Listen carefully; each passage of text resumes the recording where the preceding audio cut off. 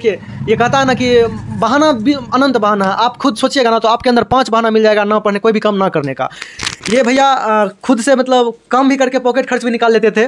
और पढ़ाई भी ऐसा पढ़े कि टॉप कर गए। तो ऐसा ही हम लोग को हम मेरा ये था कि एक घंटा से डेढ़ घंटा उससे ज़्यादा हम एक बार में पढ़ नहीं पाते थे। अच्छा रात में तो सेम हियर ब्रो सबका होता है।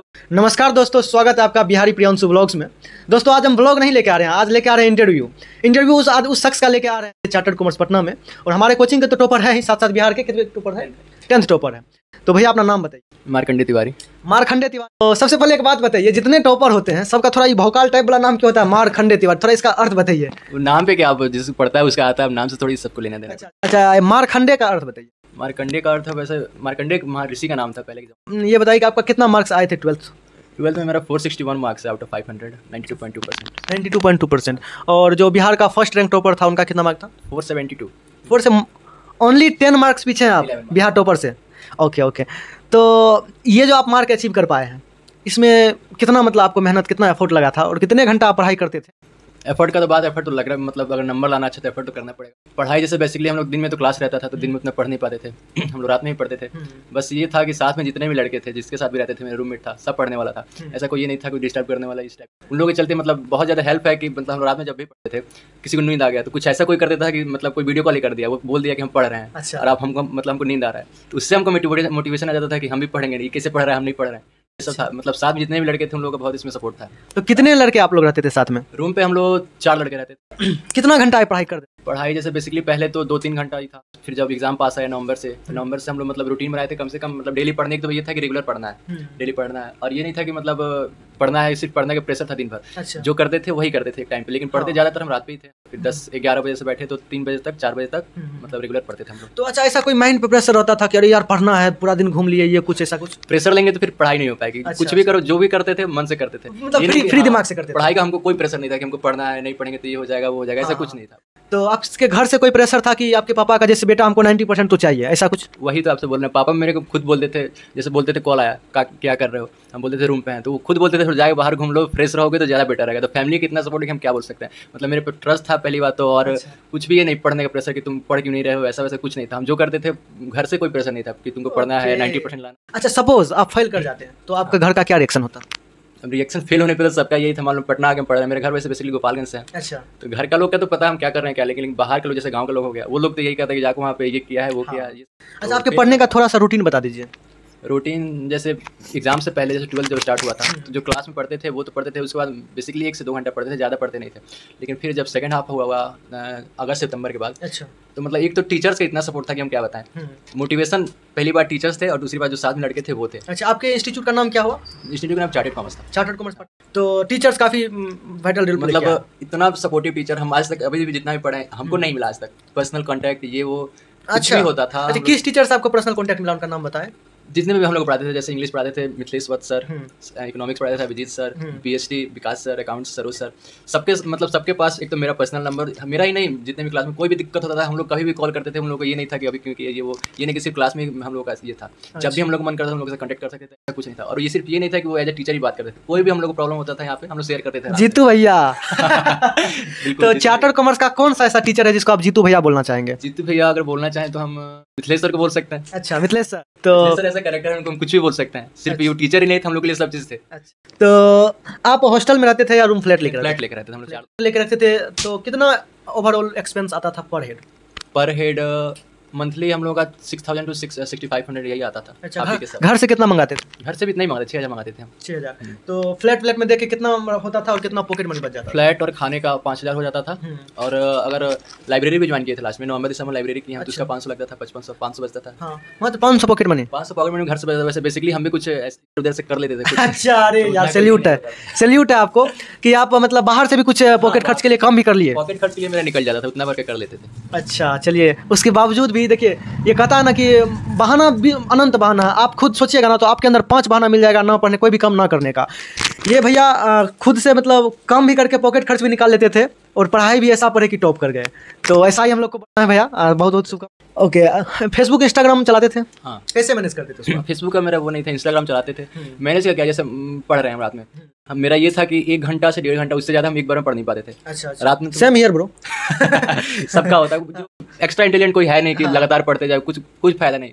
आपको अपने इंस्टीट्यूट का क्या ऐसा खासियत लगा कि आप मतलब उसी में एडमिशन कराए? या फिर आप दो साल एक बहुत बड़ा एक्सपीरियंस आप उसके साथ साझा किए? तो कुछ चार मतलब एडवांटेजेस बताइए आपके इंस्टीट्यूट सबसे पहली बात तो इंस्टीट्यूट मुझे हमको भी लगा ही नहीं। बस हमको ये लगता था कि हम दूसरे घर पे जा रहे हैं। इतना मेरा मतलब वहाँ पे कंटेक्ट था। सबके साथ ये था। एक तो बहुत ज़्यादा सपोर्टिव लोग मैनेजमेंट हो या फिर टीचर हो किसी का तो हम बता दी थी मैनेजमेंट भी वैसा ही कुछ भी प्रॉब्लम हो फट से सॉल्व होता था ऐसा कुछ और सबसे अच्छी बात ये लगी कि जो भी पढ़ाते रहे टीचर मतलब नो डाउट बिहार में तो ऐसा हमको नहीं लगता कहीं मिल पाएगा। अच्छा हाँ एटलीस्ट डोमेन सब्जेक्ट जो भी है account B S T B S T हमको लगता है इलेवंथ में भी हम पढ़े थे। ट्वेल्थ का भी सिलेबस देखे। हमको तो लगता था हमसे ही नहीं हो पाएगा। अच्छा हम तो सोचे नहीं थे बी एस टी में इतना अच्छा भी हम कर भी सकते हैं। हम्म। एक तो इतना लेंदी प्लस बोरिंग लगता है बहुत सारे बच्चों को। हमको भी लगा था। लेकिन बी के जो टीचर हैं विकास सर मतलब कैसे पढ़ाएँ हमको भी समझ नहीं आता। जो जो दो महीने पहले लगता था कुछ नहीं होने वाला सिक्सटी सेवेंटी भी आ गया तो बहुत उसमें मेरा इसको नाइन्टी सिक्स है वो भी मेरा नाइन्टी सिक्स है नाइन्टी सिक्स से अब छः सात बच्चों का है। बेसिकली आपको इंग्लिश और हिंदी हाँ। मात दे गया। बाकी सबसे इजी सब्जेक्ट सबसे इजी सब्जेक्ट बस यही है कि बच्चा ध्यान नहीं देता हाँ। सेम वही हम काम अकाउंट्स में कितने मार्क लाए थे? अकाउंट्स में नाइन्टी फाइव 95 अकाउंट्स में? वाह इंग्लिश में कितना मार्क था हिंदी में? इंग्लिश में एटी एट है और हिंदी में भी एटी एट है। बस यही दोनों मार्क्स आने कोई नहीं कोई नहीं बहुत आप।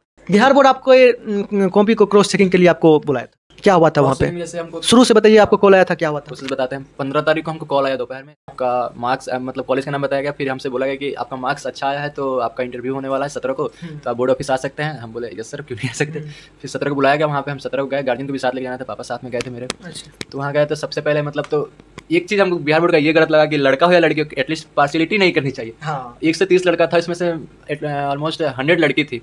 अब उसमें सबको एक ही साथ मतलब नहीं भी बुला सकते तो लड़का लड़की को एक ही साथ बुलाना थे। सबसे पहले सारी लड़कियों को किया गया इंटरव्यू के लिए गए तो सबसे पहले बैठा के कैमरा के सामने अपना इंटरव्यू देना था फिर इंटरव्यू रूम में जाना था। इंटरव्यू इंटरव्यू हो गया फिर जब हम लोग अंदर गए तो एक फ़ाइल था। फ़ाइल में सारा कॉपी था मेरा जितना भी हम लिखे हुए थे एग्ज़ाम रिटर्न एग्ज़ाम वाला पाँच सब्जेक्ट का। मतलब ये नहीं था कि एकदम फास्ट क्वेश्चन आपको आगे क्या करना है? आगे हमको सी ए का सी ए करना है? सीए करना है। तो आप जब अलेवंथ में तो सिर्फ़ अलेवंथ पढ़े होंगे? हाँ मस्ती इलेवन पूरा चला होगा पूरा। इलेवन में तो इलेवन कब बीत गया पता भी नहीं बात बताइए कि आप जब ट्वेल्थ आपको आगे सीए करना है तो ट्वेल्थ का प्रिपरेशन के बोर्ड प्रिपरेशन के साथ साथ क्या आप सीए का भी प्रिपरेशन या सीयूईटी का भी प्रिपरेशन कर रहे थे साथ में? ट्वेल्थ के ट्वेल्थ के साथ मेरा सी का चल रहा था। सी के लिए हम अगस्त सितंबर से क्लास कर रहे हैं चार्टेड कॉमर्स ही कर रहे थे। अच्छा। हाँ तो उसका प्रिपरेशन है में एग्ज़ाम भी है उसके बाद हमको सीए का देखना अभी तो सीए पे कोई फोकस ज़्यादा ये नहीं अच्छा बहुत सारे गरीब स्टूडेंट मतलब मेरे जैसे मतलब बहुत सारे स्टूडेंट जो आपसे एक साल जूनियर है और उनको भी सीए ही करना है ही देना है ट्वेल्थ के बाद।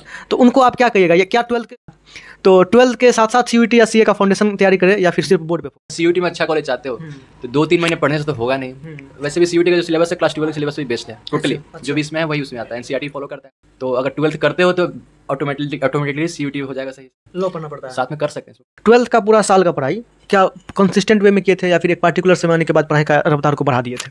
जैसे जब ट्वेल्थ क्लास शुरू हुआ था तो हम लोग बेसिकली उतना नहीं पढ़ते बता रहे हैं लेकिन जैसे ही हाफ़ हुआ जैसे अगस्त सितंबर फिर हम लोग रूम चेंज किए तो जब से ही रूम चेंज किए तो ऐसा माहौल ही बन गया हम लोग का। एक ग्रुप था अलग से बस ऐसा माहौल था कि हम लोग पढ़ते थे। हम लोग को खुद से कंपटीशन था नहीं तुमसे ज़्यादा हमको लाना है अच्छा। उसका था उससे ज़्यादा हमको लाना है। इस कंपटीशन में हम लोग पढ़ते थे। अच्छा, कि मेरे से ज़्यादा किसी को नहीं आना चाहिए बस यही एक मोटिव था।